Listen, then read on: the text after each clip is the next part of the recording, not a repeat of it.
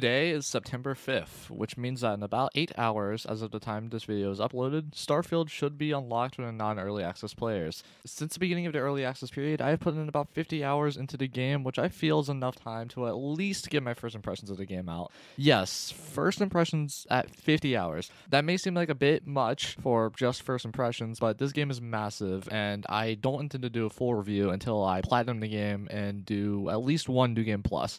All the gameplay in this video is from the first hour and a half and will, for the most part, be entirely spoiler free. And I won't mention any characters that don't show up past the first planet. So, 50 hours in, just how good is the game? Well, if the amount of time I put into it isn't evidence enough of the fact that I like the game, well, yeah, I do in fact like the game. To put it simply, it's a Bethesda Game Studios game. So, if you like any of their games, then you will love this game. Starfield feels more like an Elder Scrolls game, surprisingly, than a Fallout game, which I'm not going to complain about that. I love Elder Scrolls. Current favorite thing to do in the game right now is exploring. I do just like flying around in between planets and discovering everything that there is on the planet, despite the procedure, procedural generation. That, game, that word is always hard to say when I'm traveling between different star systems, I can't resist the urge to just land on the first planet I see, even if it's just on the path to another star system. I spent quite a lot of time on backwater, barren planets, just exploring because I keep finding things that pique my interest.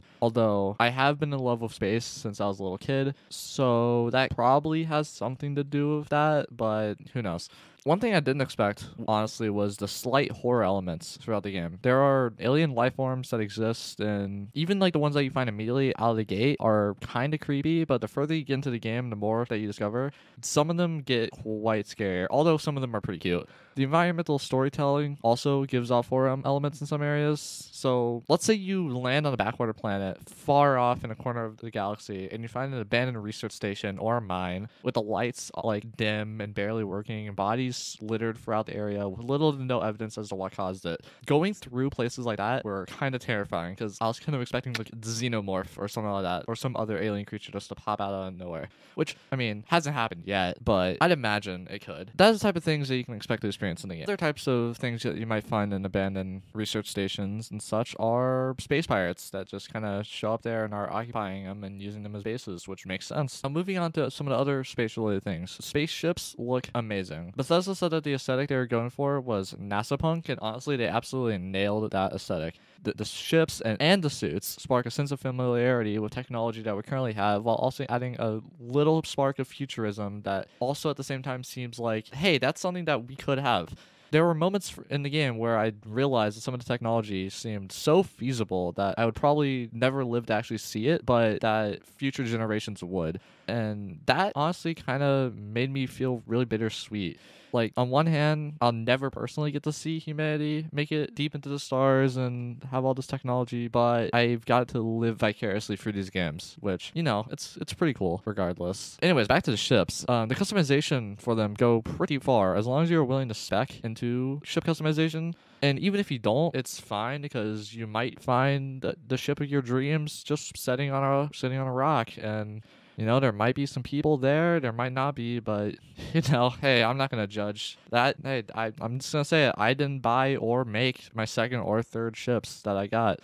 Now, ship combat and piloting can feel a little clunky at first, uh, but the more you do it, the more you get used to it, the more that you level up your piloting skill, and the better ship that you have, the whole experience becomes a lot more fun. I really, really love dogfighting. It is very satisfying to jump into a different system, get into a 1v4, and have to like outmaneuver ships while also taking them out one at a time. And then when you're fighting the last one, you get a prompt that you can board, and then when you do board, the entire ship is in like a zero G environment, and everything is just so satisfying about it once you get good at it. And when it comes to the space suits, there are a ton to be found. And you can mix and match different helmets and packs and suits and stuff, which it's a Bethesda game. Did you expect to not be able to? Creating your suits works pretty similarly to Fallout 4's power art armor system, where upgrades didn't change too much of the aesthetics for the most part, but the benefits are pretty good. The weapons are pretty cool. I haven't found all of them yet, but I definitely found a few that I will be using for the rest of my playthrough. One of the weak points in regards to weapons, I will say, is the lack of in the wild unique weapons. Like where Starfield, the only place you really find unique weapons is either during a quest line or you buy them, which Bethesda has been doing since Fallout 4. However, I kind of miss the way that worked in like older Fallout's and Elder Scrolls and Skyrim, especially where you can go through a cave or a dungeon, like completely like separated from any quest line, and at the end of it find like some really cool stuff or like the Daedric artifacts and stuff like that.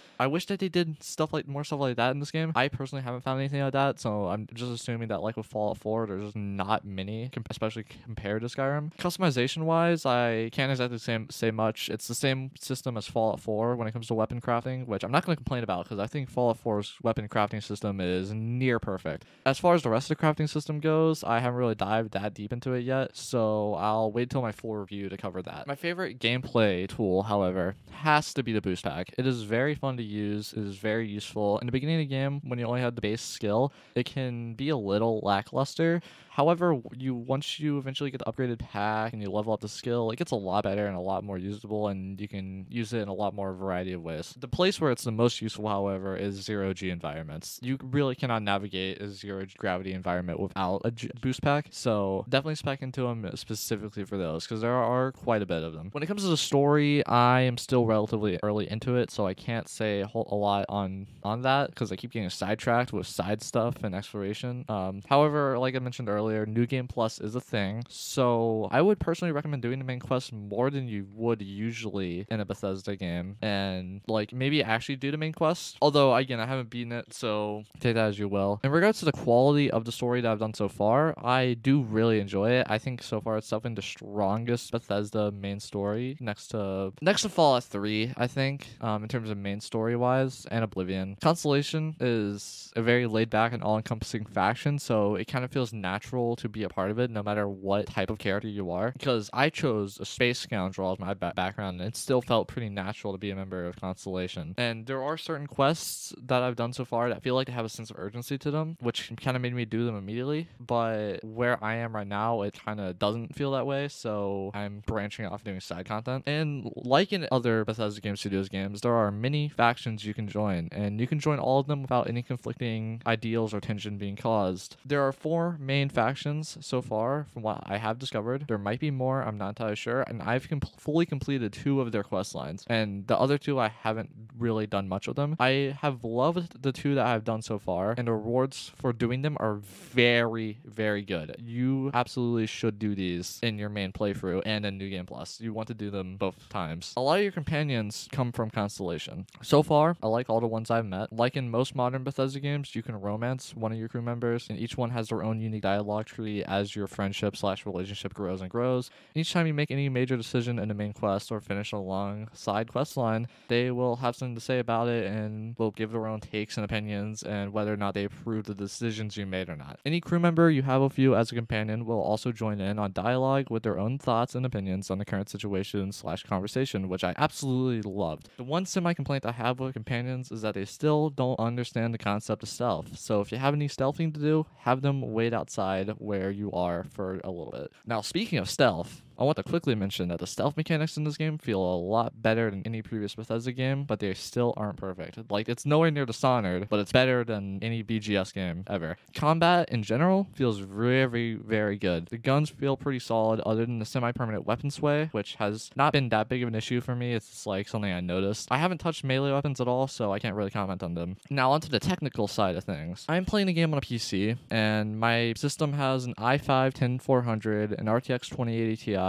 32 gigabytes of DDR4 RAM, and I have the game installed on SSD. The game is honestly kind of unoptimized for NVIDIA cards, I will say, because I have some friends that have similar systems, and they run a lot better with AM- with an AMD GPU. The game is also a very much more CPU intensive than I was expecting it to be. So, like, if you have a better CPU than me, then you're gonna be a lot better off. For for anyone using an NVIDIA graphics card on PC, I highly recommend installing the DLSS mod until Bethesda officially add DLSS in FSR3 implementation. With my PC, I'm running the game at about 35 to 50 FPS with a different with a different range of settings, uh, ranging from low to high at 1080p.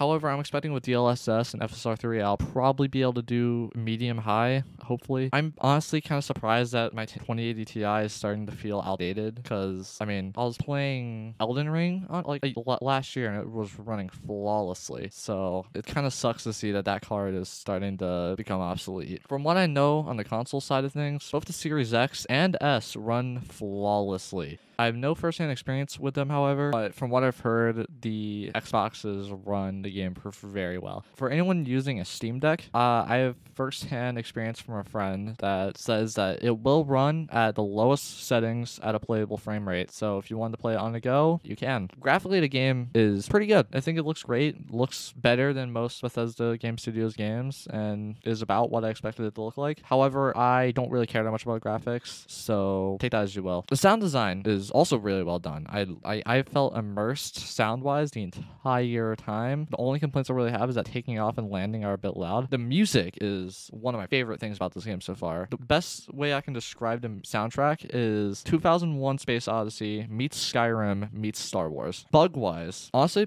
quite surprised. Um, you know, usually you expect a Bethesda game to be littered with bugs which there are bugs, but I haven't found anything too game breaking or disruptive. The worst thing that I've seen is companions randomly disappearing but that's easily solved by just sleeping in a bed and they teleport to you, so it's not that big of a deal. And other stuff that you see is like characters floating and clipping through stuff. So it's like it's whatever. It's fine. I don't I don't care. It's it's honestly enhances the experience than it take the tracks. So like it really that's that's personal preference at, at that point. Overall, I am absolutely loving this game, and I believe it to be a return to form for Bethesda Game Studios. They've learned from their mistakes regarding Fallout 76 and have returned to making high quality single player RPGs. I still have a lot of content to get through in the game as well as content to make, but I hope that those who will start playing the game today enjoy it as much as I have so far. I would like to say the full review should be out in a week or two, but I honestly can't say when I'll have played enough to fully review it. It could be anywhere from next week to two months. So, if you want to get notified when I do release my final thoughts on the game, make sure to subscribe and turn notifications on so you can be the first to know my full review. Hope everyone has fun at the game, and make sure you stay safe out there in the Starfield.